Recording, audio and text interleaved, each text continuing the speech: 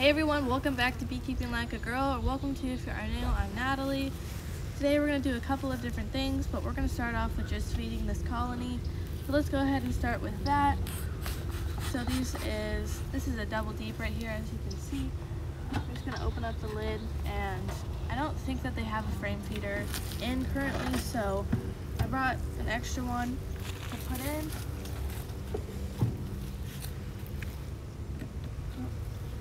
A, roach, of course, but let's just open up this inner cover.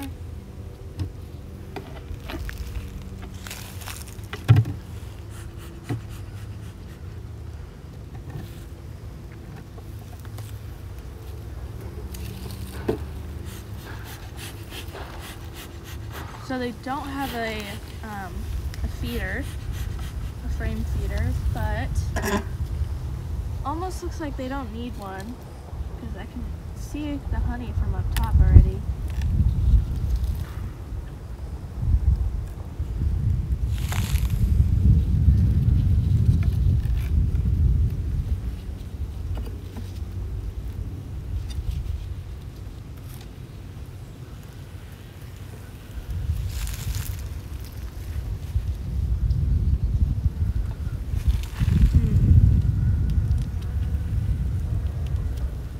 This frame has a bunch of honey on it also. Maybe we be feeding this hive today. Alright, we're gonna, I guess, not feed it. We're gonna do a patty or something, but I'm not sure exactly how to do that with what we're doing next. So let's go ahead and just do that first. Um, Alright, so we're going to be doing a double screen board, which I have never done before. Anyways, let's go ahead and get started and show you kind of how, because we made this, so I'm going to kind of tell you a little bit on how we did that. So we're slowly moving over to migratory lids, I think that's how you pronounce it. And with those, you don't, you don't use an inner cover, and we don't want to let those inner covers go to waste. So what we did was, uh, I guess repurpose it is the word. So we made a um, double screen board, and so I'm going to kind of tell you a little bit on how we did that. And so, like I said, this is homemade. So uh, this wood right here is Luan wood. Um, I think that's what it was called on both sides. So here and over here. And then this hole was cut out with a jigsaw. And then uh, just a eighth inch screen on both sides also, which we just used some staples to put that in. And then um, you've got this little notch right here because this is going to be the entrance for the top hive actually. I was going to say the bottom hive, but it's going to be the top one. So yeah, that's pretty much how we did this. It's super easy if you want to try it out. And so I think that's pretty much it. I think we can go ahead and already put it on. So you just put this right on top, kind of like an inner cover. Well, it is an inner cover actually, but anyways, not funny.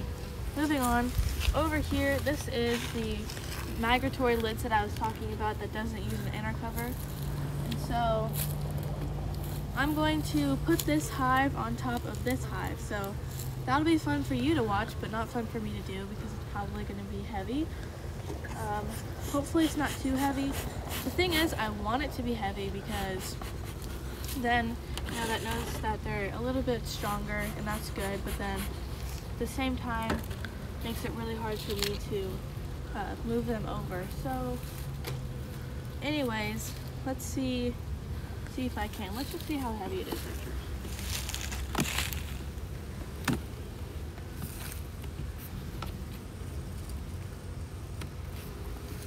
Alright, well, it's pretty heavy. Um, let's see. I think I'm just gonna move them over and then I'll take the lid off. I really don't know if I can lift this, but let's see.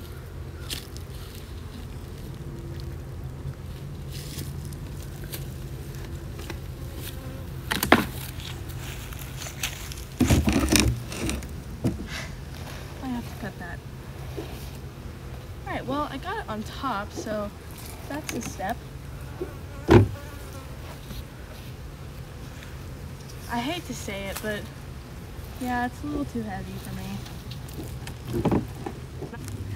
Just say I'm not sure how much editing I'm gonna have to do on that, but anywho, um, I got it on. That's all that matters, right? Bees are super happy with me now, though. All right. So now I get to open them up and um, let out the mean bees. So, okay, wait. Before I do that, so right here, for a second I was worried that I put the entrance at the wrong spot, but no. Right here is their entrance now. So this is basically a lid for this hive and a bottom board for this hive. So anyways, now let's open them up. And so basically what this does is this hive is going to create warmth for this hive up here, which should help them out a good amount throughout the winter time.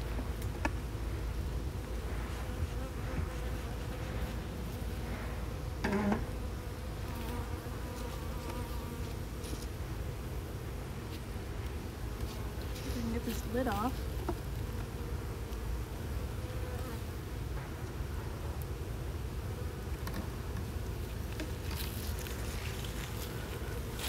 There we go. So I'm gonna switch the lid out because I'm going to put this right on top. So this is just a, um, I just lost the word. This is styrofoam. Styrofoam? Yeah, that's what it's called. All right, so this is styrofoam and you're supposed to paint this before you put it on. Um, and we're doing this kind of at our own risk unfortunately, but we just didn't have enough time to paint it. But you should really, really paint these before you put it on. So, um, let's see.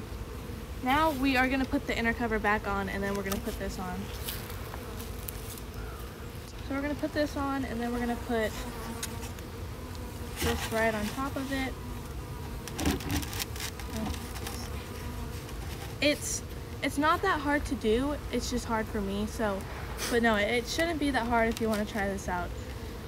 So anyways, I probably struggled a little bit more than you're supposed to, but that's okay. So anywho, then you're to put this lid on. And we have another lid that I just didn't bother to take off another hive and switch it out. Um, but it would have come down a lot farther and so you wouldn't even see the inner cover.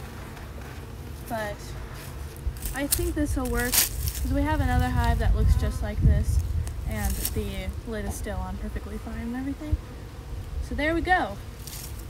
Now it looks like we've got a really cool impressive hive but really it's just two hives connected but anyways there you go. I think that's pretty much it.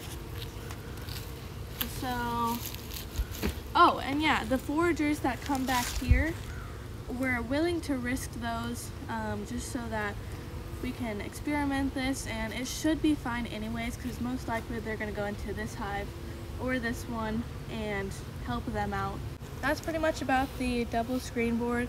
We'll do another video probably on it just to see how they're doing because unfortunately we won't really know until um, a little while to see how much it's helping them. So that's pretty much it. Thanks for watching. Follow along for more bee adventures and be here next time on Beekeeping Like a Girl.